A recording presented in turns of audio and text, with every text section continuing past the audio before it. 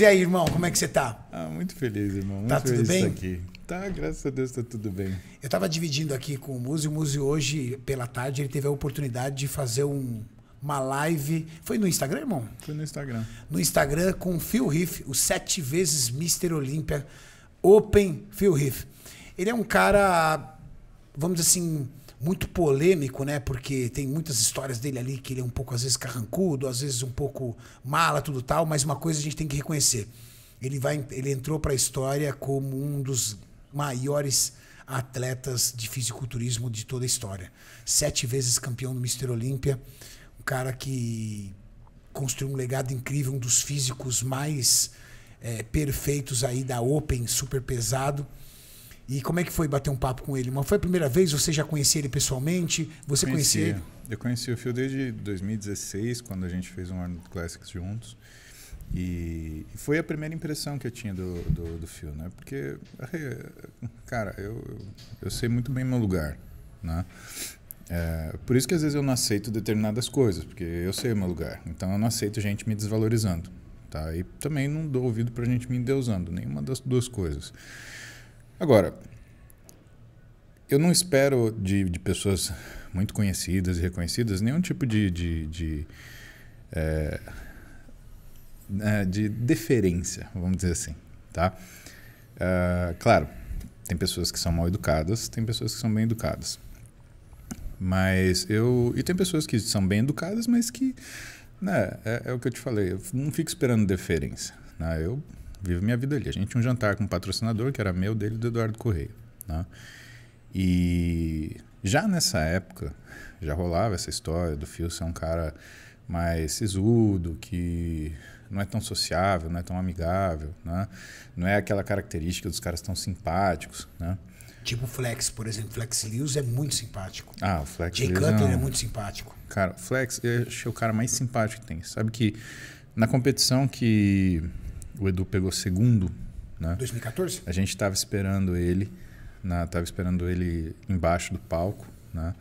E o Flex ele chegou, cumprimentou todos nós que estávamos esperando o Edu, Torcedores do Edu. torcedores do Edu, apertando a mão, olhando nos olhos, virou pro Edu e falou assim: "É essa a sua família? Muito legal". Caramba. Ele deu um abraço no Edu, cumprimentou todo mundo e ainda perguntou se a gente era família dele. Cara, ali, ali o cara me ganhou. Falei, "Esse cara é Entendendo foda." que há alguns minutos atrás vocês estavam gritando Torcendo pelo contra. principal oponente dele. Exatamente. Não, o cara é foda. Não, o Flex é foda. E, E não fio? é uma característica do fio, né? Só que aí é, é o que a gente é o que a gente fala, né? Ética é o que você faz na frente das pessoas, moral é o que você faz quando ninguém tá vendo. Tava a mesa posta e eu, como sempre, eu tô atrasado porque eu tô fazendo três coisas no tempo de uma. Sempre. Peguei. Pronto, já perdi. Roberta. E fomos jantar. E aonde que o cara, ele me chamou a atenção? Como eu te falei, eu não espero deferência e nem educação. Então, numa condição dessa, que eu já passei com outras pessoas, principalmente pessoas conhecidas, cara, as pessoas não olham na nossa cara. né? E principalmente não olham para a cara da nossa esposa. Né? É tipo, ah, você tá aí, beleza. E quem é você que tá do lado? Né? O fio levantou, ele parou de falar, ele virou pro, pro patrocinador e falou assim: me, excuse me for a second. É, me desculpe por um segundo. Se levantou, olhou para minha esposa, estendeu a mão. Oi, meu nome é Philip, muito prazer em conhecê-la. Virou para mim: Oi, Philip, muito prazer em conhecê-la. Ou seja, ele foi educado. O que? Ele parou o que ele estava fazendo, apresentar para Roberto. Eu falei: Cara, esse cara é especial. Há uma diferença entre carisma e educação. Sim. Carisma é uma característica inerente à pessoa. A pessoa pode ser carismática ou não. Educação é uma obrigação. Exato. E ele é educado. E ele é um cara educado, ele Isso é é muito educado. Só que aí o que, que ele falou? A gente estava conversando e desenvolvendo isso, já que a gente está nessa linha. É, eu perguntei para ele, né? Porque ele passou entre o quarto e o quinto título dele um período muito difícil. Ele perdeu o pai, ele se separou. E evidentemente que ele se fechou dentro dele, né? É, já vou te contar o que, que ele, o que, que é a técnica dele de treino, etc. Porque a gente conversou sobre mindset também, né? Mas ele se fechou mais ainda dentro dele.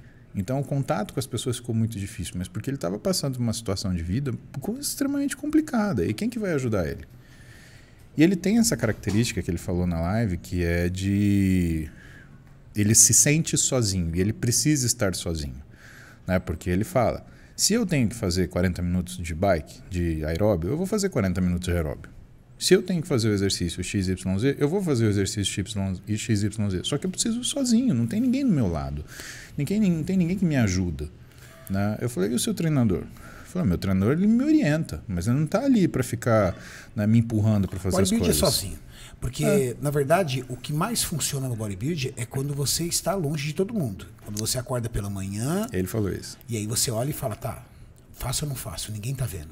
É exatamente isso que ele Instagram falou. Instagram não tá aberto, meu treinador tá na casa dele dormindo. Será que eu faço? Aí você abre a geladeira e aí, eu como ou não como? Aquele bolo que tá ali. Ninguém tá vendo. Então, bodybuilding é o esporte mais um dos esportes mais individualistas que existem. Exato, que foi exatamente o que ele falou. ele entrou ainda mais com os problemas pessoais. Exato. E aí, nessa situação, ele meio que se afastou das pessoas, né? E, e ele viveu um período muito difícil, ganhou, né? Fez o quarto e quinto título. Ele sente que foi de longe, né? A época mais difícil dele de competição, mas porque ele tinha situações internas que ele estava resolvendo junto e que ele viu todo esse buzz que, que aconteceu, né? Buzz é que o pessoal chama quando tem muito comentário na internet, né? E ele viu muita coisa sobre ele, né? Sobre situações, sobre comportamentos, sobre dificuldades. E ele começou a, a, a raciocinar sobre o que, que era o feedback das pessoas que seguiam ele. Né? E, e aí eu achei de uma, de uma, de uma sensibilidade sem igual. O que, que ele falou? Ele virou para mim e falou assim, sabe... Quando uma pessoa ela te critica na rede social, ela também te critica porque ela gosta de você. Eu falei, mas como isso? Ele falou, bem, a pessoa ela te faz uma crítica porque ela quer mais de você. Então entenda, você eu vou lá, eu ganho, né? Porque eu também pedi para ele comentar aquela frase que ele falou, "Don't hate the king". Você lembra que ele falou isso? Acho que em 2017, uma coisa assim. Né? Porque o pessoal estava muito falando que ele era mascarado, que ele era mala, piriri. Ele falou, cara, para de odiar o rei. Né? Vocês querem que o cara esteja ali, quando o cara está ali, vocês querem detonar o cara. E aí ele falou uma coisa que realmente é verdade. Né? Pelo menos eu já vi, eu, eu percebo que é isso. Né? A pessoa, você entrega para ela uma coisa, mas ela quer mais de você. Então, na verdade, ele não é como se a pessoa odiasse porque ela não gosta de você mas é que ela sente falta de você não ter entregado mais, porque ela sabe que você pode. É a história de, por exemplo, sei Faz lá. Faz sentido isso, sabe por quê? É, o Maurício sabe, a gente acompanha muito de perto com os nossos atletas.